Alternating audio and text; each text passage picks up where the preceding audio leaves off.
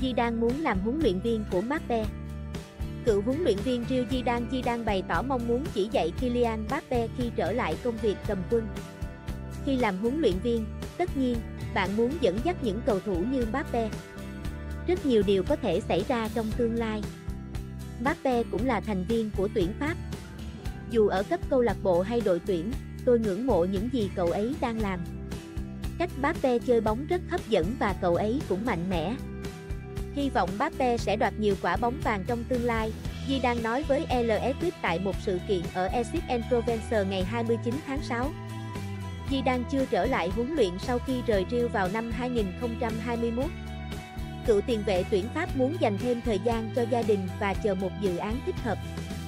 Sau khi có tin Carlo Ancelotti rời Real để chuyển sang dẫn dắt tuyển Brazil hè năm sau, Di đang được cho là sẽ trở lại sân Betmaber vào thời điểm đó.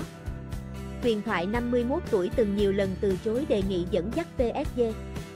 Đương kim vô địch Ligue 1 đang phải tìm thuyền trưởng mới thay Cristo Ganti và cựu huấn luyện viên tuyển Tây Ban Nha Luis Enrique là ứng viên sáng giá.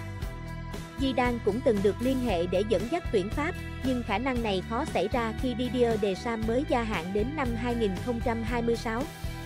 Đầu tháng này, Mbappe tuyên bố sẽ không gia hạn với PSG khi thỏa thuận hiện tại kết thúc vào hè 2024. Điều này buộc câu lạc bộ Pháp phải bán tiền đạo 24 tuổi trong hè này nếu không muốn mất trắng.